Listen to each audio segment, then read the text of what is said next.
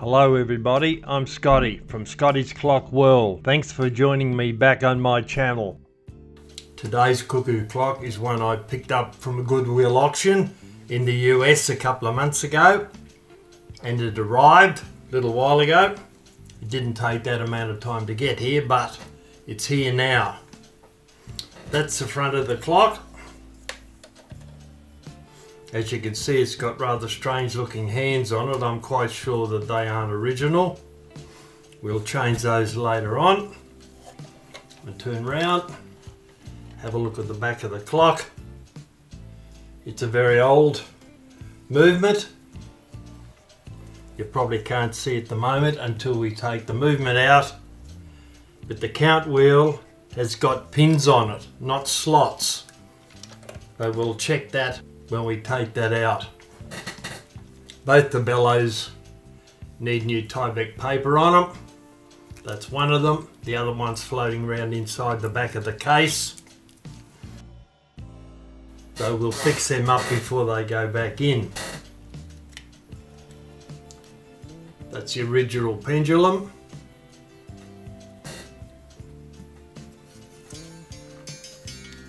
The back of the clock with the gong on it.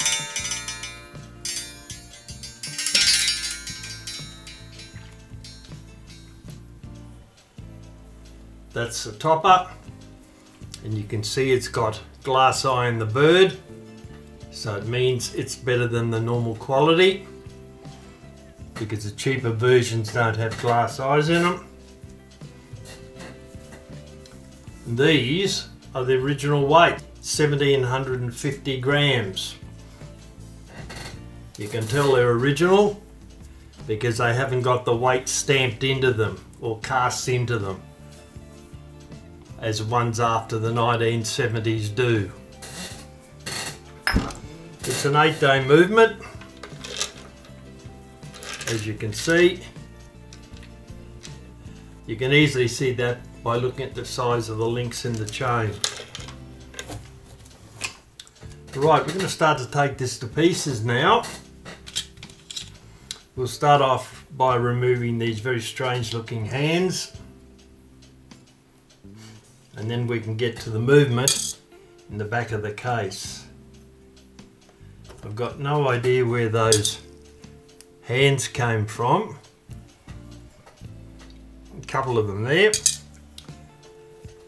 And this one down here, complete with chunk cut out of it, so that it will slide and hold, allegedly hold by friction on the cannon pipe. So I have a feeling they'll end up in the bin very quickly. Right, now we can turn the clock over and I'll put the case on the top of this little wooden block I've got here because the minute arbor is going to stick into the desk and we don't want that to happen. Alright, first thing we'll do is we'll remove these hooks here that are very, very tightly in. They've been pulled up very tight. We'll remove those so we can take the chains out. I'll turn that round a bit and get the other camera operating.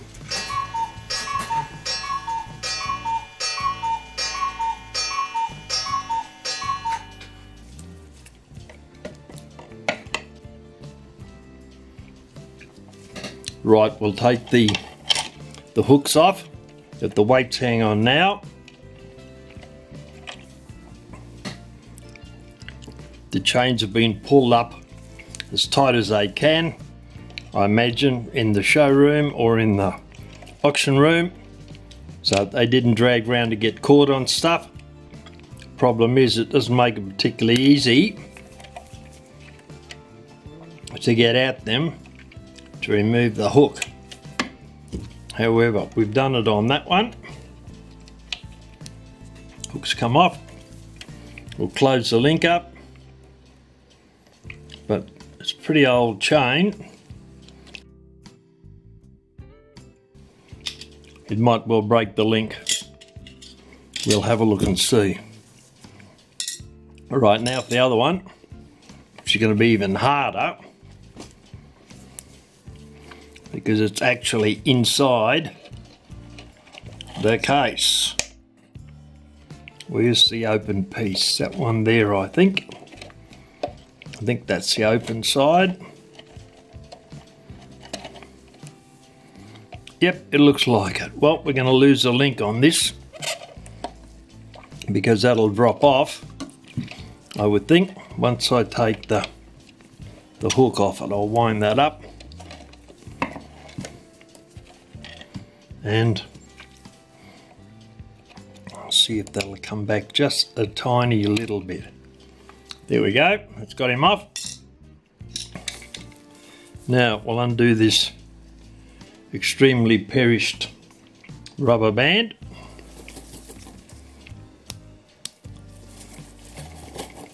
And find the other end of the chain, both of them. See if we can find the, the stop rings that they have on them or whether they're there or not.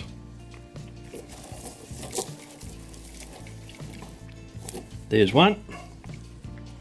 Right, we'll remove that.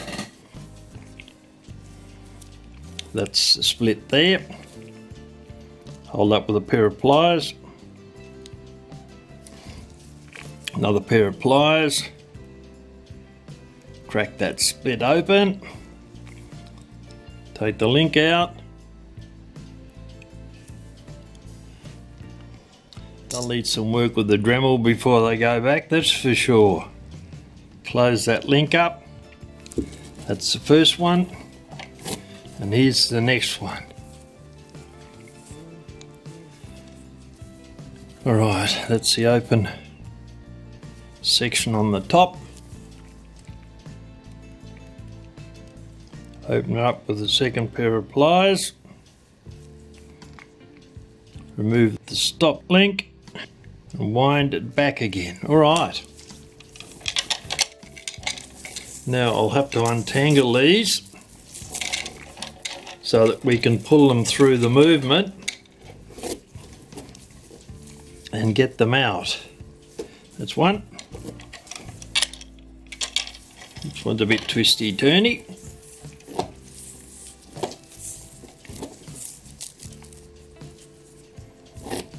Okay.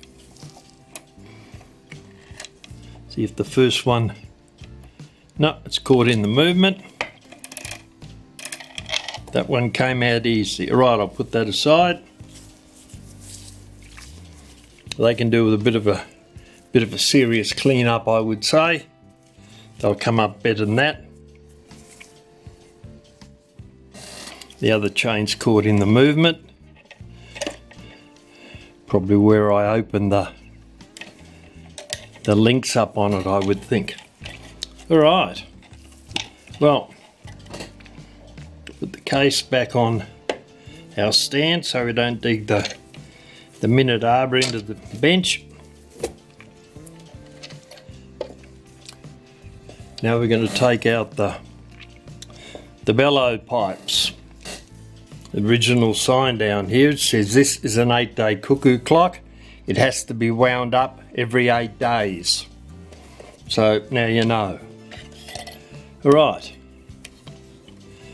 Turn the case on its side and with a small screwdriver we'll take that screw out.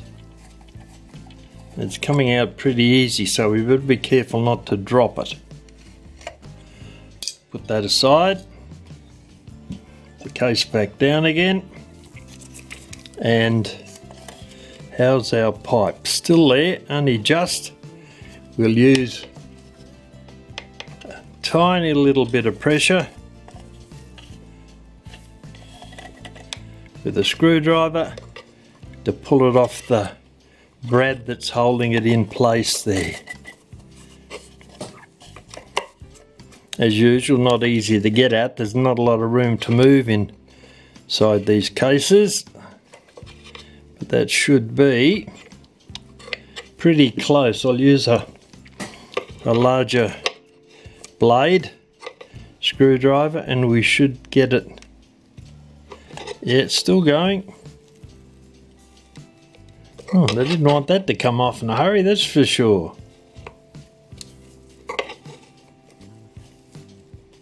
Being careful not to damage any, there we go, anything inside the, the case.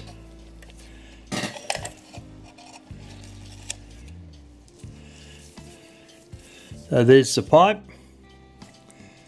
complete with tattered paper on it. That's what's all that white powdery stuff in there. It's the top of that case. Just blown down through the hole there in the top of the bellows and the pipe is working correctly. It's always a good thing to do before you start repapering bellows just in case that reed is out of whack and it doesn't work once you're finished. Alright, that's the high note. Now we'll do the same on the other side and we'll take the low note out. Screwdriver into the screw once again. Turn it round.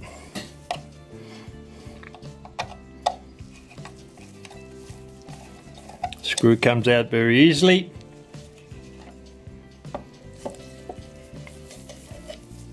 Once again, prise the pipe off very carefully.